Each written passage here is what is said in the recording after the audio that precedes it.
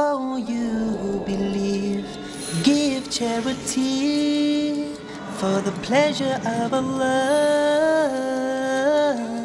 the pleasure of Allah. Oh, you who believe, read the Quran every night of Ramadan, night of Ramadan. Welcome, O Ramadan. Is Ramadan. It is Ramadan.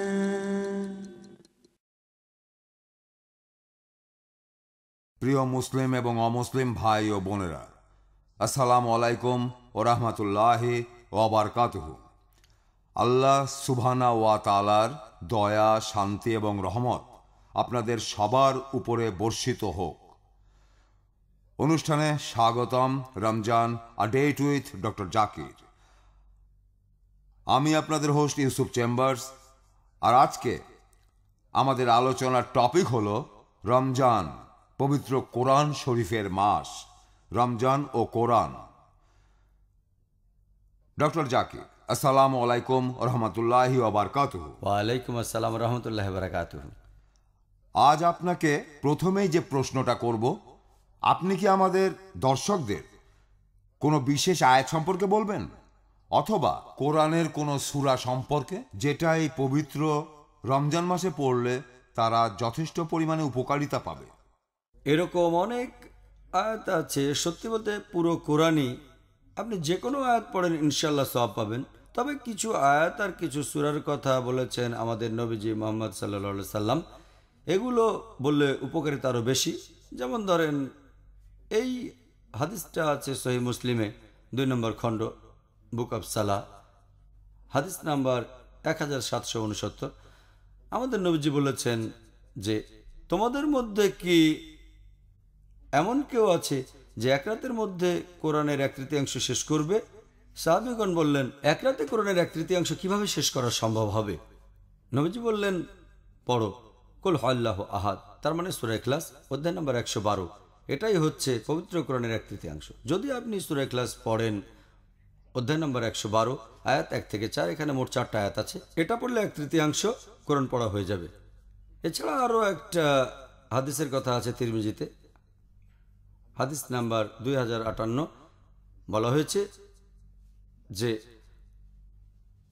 দুটো সুরা সুরা ফালাক এবং সুরা নাস, এই সুরাগুলো তোমাদেরকে শয়তানের হাত থেকে রক্ষা করবে। এর মধ্যে রয়েছে আরোগ্য। তার মানে এই সুরা দুটো, পবিত্র কোরআনের শেষ দুটো সুরা, অধ্যায় নম্বর একশো তেরো, তার মানে সুরা ফালাক, আর অধ্যায় নম্বর একশো চোদ্দ মানে নাস। এই সুরাগুলো মানুষকে শয়তানের হাত থেকে রক্ষা করে, আর এদের মধ্যে রয়েছে আরোগ্য। এছাড়া আরও একটা হাদিস আছে, মুস্তুদরাক আল হাকিমে, হাদিস নাম্বার দুই হাজার বাহাত্তর। যদি কেউ সুরা কাহাব পড়ে শুক্রবারে সে একটা আলো পাবে, যেটা তার সাথে থাকবে পরের শুক্রবার পর্যন্ত। এই হচ্ছে পবিত্র কোরআনের কিছু আয়াত এবং সুরা নবীজি মোহাম্মদ সাল্লাহ ইসলাম যেগুলোর উপকারিতার কথা বলেছেন। এই ব্যাপারটা বেশ দুঃখজনক। এরকম অনেক মুসলিম আছেন যারা শুধু বাইরে থেকে কোরআনকে শ্রদ্ধা করেন, যেমন কোরআন হাতে ধরা, কোথাও রাখা, কোথায় রাখতে হবে, ঢেকে রাখা কিন্তু যখন পবিত্র কোরআনের মূল নীতিগুলোর প্রসঙ্গ আসে, নিজেদের জীবনে সেগুলো প্রয়োগ করা, তখন তারা পিছিয়ে যায়। কোনটা বেশি গুরুত্বপূর্ণ? পবিত্র কোরআনের প্রতি অতিরিক্ত শ্রদ্ধা দেখানো নাকি কোরআনের শিক্ষাগুলো নিজের জীবনে প্রয়োগ করা? দুটোই গুরুত্বপূর্ণ। মুসলিমের উচিত পবিত্র কোরআনকে শ্রদ্ধা করা যতক্ষণ সে পারে, একই সাথে সে কোরআনের অর্থ বুঝবে এবং আল্লাহর নির্দেশ যেগুলো আল্লাহ দিয়েছেন সেগুলো জীবনে প্রয়োগ করবে। কিন্তু দুর্ভাগ্যজনকভাবে কিছু মুসলিম আছে যারা শুধু বাইরে থেকে সম্মান দেখায়। তার মানে বাইরে থেকে সম্মানটা দেখতে পাচ্ছেন। পবিত্র কোরআনের যে নির্দেশ দিচ্ছে, সেগুলো তাদের জীবনে প্রয়োগ করে দেখে না। এতে উদ্দেশ্য পূরণ হচ্ছে না। যেমন ধরেন, অনেক মুসলিম কোরআনকে তুলে রেখে দেয় একেবারে উপরের শেলফে, কোরআন সবার উপরে থাকে। তারা কোরআনকে এত উপরে রেখে দেয় যে এতে ময়লা ধুলো পড়ে। কেউ কোরআন শরীফটা পড়তে গেলে দশবার ভাববে, ও, এত উপরে, এটা তো পেড়ে আনা কঠিন। কোরআন এমন একটা বই যেটা আপনাকে দৈনন্দিন জীবনে গাইড করবে। এটা থাকবে হাতের নাগালে। এটা গাইড বুক যেটা আপনার প্রতিদিন লাগবে। শেলফে এমন জায়গায় রাখেন যাতে সহজেই সেটা পাওয়া যায়। এতে করে যখন প্রয়োজন হবে, আপনি সরাসরি বের করতে পারবেন। কোরআনকে আমরা এভাবে আমাদের প্রতিদিনের গাইড হিসেবে দেখতে পারি। তবে মুসলিমরা, তারা কোরআন স্পর্শ করার আগে হাজারটা প্রশ্ন করবে, যেন কোরআন এটা আরডিএক্স বোমা এখনই ফেটে যাবে। হাজারো প্রশ্ন, অজু করা হয়েছে নাকি? এটা কি ঠিক আছে? কোরআন ধরতে পারব। তারপর দাঁড়ানো অবস্থা কি কোরআন পড়া যাবে? ভ্রমণের সময় কোরআন পড়া যাবে? পায়ে জুতো নিয়ে কোরআন পড়ছো? এটা তো হারাম। এগুলো তারা থেকে পায়? কোন হাদিস থেকে বা কোরআনের কোন আয়াত থেকে জুতো পরে কোরআন পড়া যাবে না? কোরআনের উদ্দেশ্যটা কি? কোরআন হবে মুসলিমদের প্রতিদিনের গাইড। কোরআন থাকবে হাতের কাছে। আমরা যখনই সুযোগ পাব, তখনই কোরআন পড়ব। এরকম আমরা প্রায় দেখতে পাই। যদি আপনি মধ্যপ্রাচ্যের দেশগুলোর মসজিদে যান, হয়তো সেখানে একজন লোক মসজিদে নামাজ পড়তে এসেছে, নামাজের কয়েক মিনিট বাকি, সে সময় নষ্ট করে না। সে কোরআনের একটা কপি বের করে, পড়া শুরু করে। মসজিদে যারা আগে আসে, তারাই কোরআন পড়ে।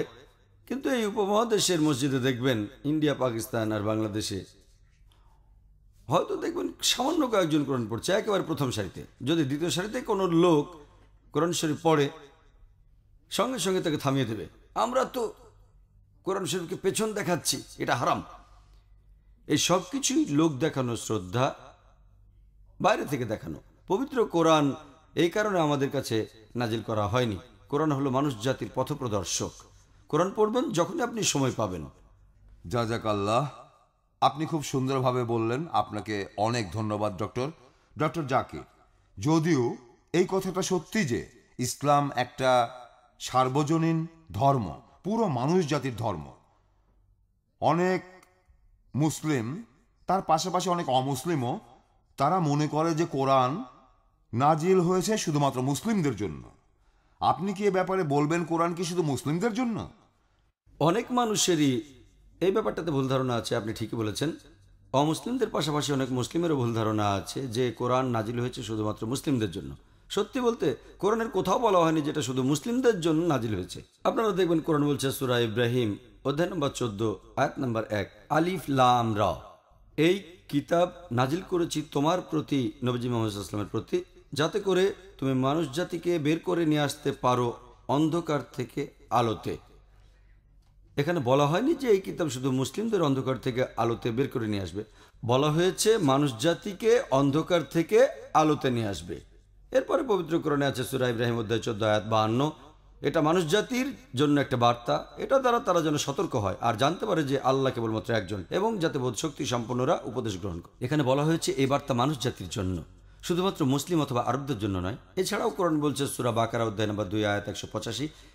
এই পবিত্র রমজান মাসই কোরআন অবতীর্ণ হয়েছে মানব জাতির পথের দিশারি হিসেবে। সৎপথের স্পষ্ট নিদর্শন ও সত্য মিথ্যার পার্থক্যকারী রূপে। আর নবজি মোহাম্মদ সাল্লাহ সাল্লামকে শুধুমাত্র মুসলিম বা আরবদের জন্য পাঠানো হয়নি।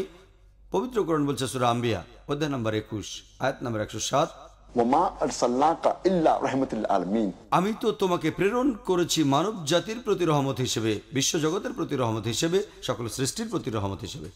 তাহলে কোরআন সর্বশেষ এবং চূড়ান্ত আসমানি কিতাব এবং সর্বশেষ ও চূড়ান্ত নবী মোহাম্মদ সাল্লাহাম শুধু মুসলিম বা আরবদের জন্য আসেননি এসেছেন পুরো মানব জাতির জন্য প্রিয় মুসলিম এবং অমুসলিম ভাই ও বোনেরা ইনশাল্লাহ আবারও দেখা হবে এখন একটা ছোট্ট বিরতি.